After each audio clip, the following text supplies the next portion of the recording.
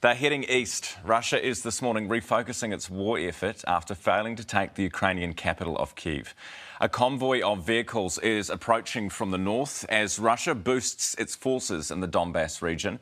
Ukraine's President Zelensky says if Donbass falls to Russia, Kiev will again be under threat. It comes as New Zealand troops prepare to deploy to Europe tomorrow to help support the war efforts in Ukraine.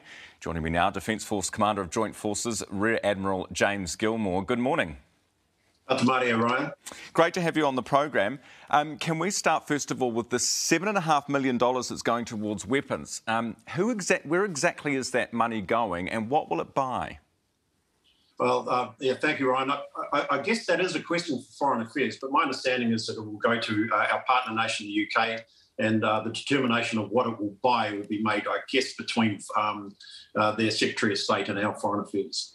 Do you know what? Because we were going to send the javelins, or there was the, the talk that we would send the javelins. We were told yesterday that would be about five minutes of firepower in a war. Do you know what seven and a half million bucks would get you? Well, it depends what you buy, I guess. I mean, in terms of getting um, lethal aid from New Zealand to uh, to the theatre, it's a, it's a really long supply chain. You can imagine. Um, so, in, in, many ways, logistically, it makes sense to provide funding so the capabilities can be bought or purchased uh, closer to where they are they are needed. Um, you know, we're a small nation with a small nation's defence force, so what can provide whilst we add value and it all adds up I think in terms of uh, just the rate of effort it would take to get dangerous air cargo all the way across the planet, it makes sense to purchase things closer to where it's needed. Yeah, that kind of makes sense, I suppose. Did you, did the Defence Force ever recommend to the Minister that we do that, that we, that we send the javelins or get them there somehow? Well, the way we go about this is we determine um, a, a range of military response options as part of New Zealand's response and they go all the way, um, you know, from something that's uh, you know, really, uh, you know, pretty low level where it comes to people or it might come to information, all the way through to significant contributions of our capabilities and our people, um, and everything in between. So, uh, so yes, our, our job to, is to provide uh, options to cabinet that are comprehensive. We don't expect that cabinet will take up everything, and of course, they have to make judgments that are based on you know the right balance of what we can provide and where we can. Of course, the decision now has been made that we will move forward with um, uh, theatre air mobility via the uh, C-130 Hercules aircraft. That, that, aircraft will leave tomorrow. We've already got people um, move forward. We've been providing intelligence support.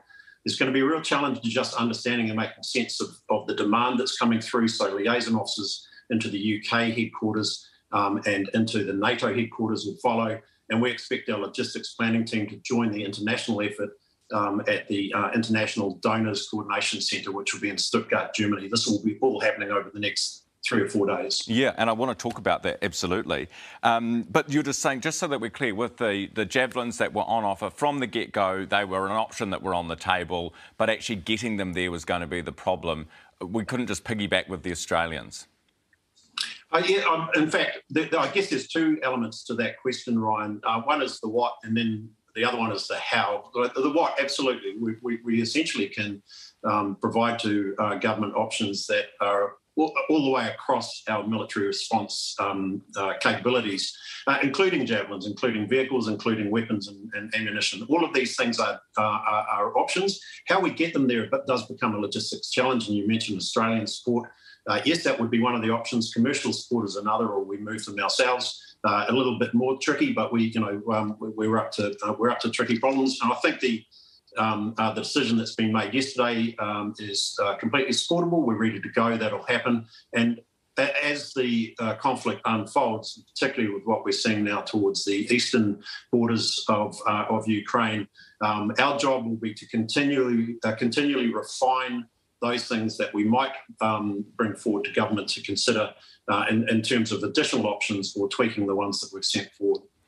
Who do you think is going to win this war? Do you think it's inevitable that Ukraine will lose some of its territory? Well, it's uh, you know I've been like everybody else, Ryan, watching global commentary on this, and, and I must confess to being um, being worried and feeling a little bleak with regards to great outcomes for Ukraine, the way this is shaping up.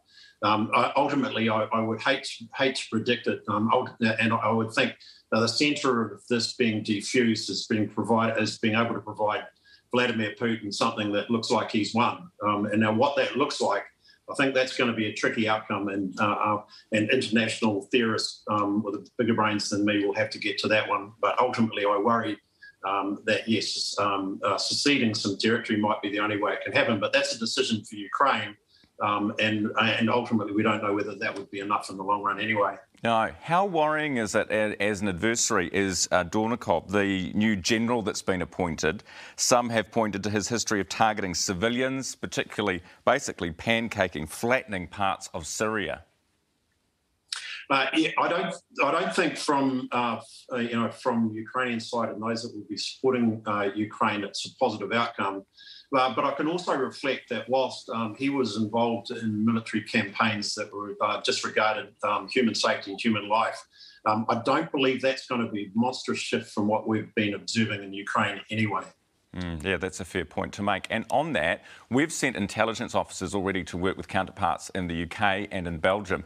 Have any of our intelligence officers, as far as you're aware, seen evidence of war crimes?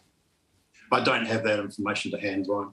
Do you know what they're actually working on? Because their brief at the beginning was to do work for Ukraine, or on Ukraine, I should say, or to relieve um, those Defence Force personnel in other countries who were doing so, so doing other work basically. Do you know what they have been working on?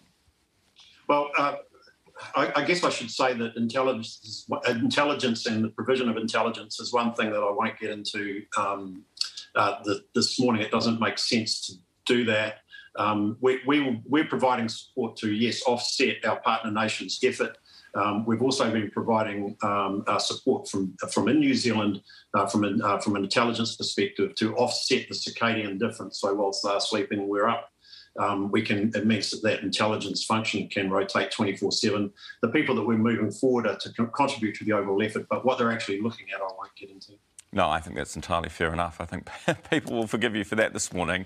Um, are we, just in terms of a technicality here, if you mobilise in support of a war effort, are you technically at war? Is New Zealand technically at war? Well, I'll, leave that to Crown law and the advice to government. But from my perspective, I would, uh, I think it's reasonably clear that our status as a neutral country has shifted. Thanks so much for your time this morning. New Zealand's Defence Force Commander of Joint Forces, Rear Admiral James Gilmour.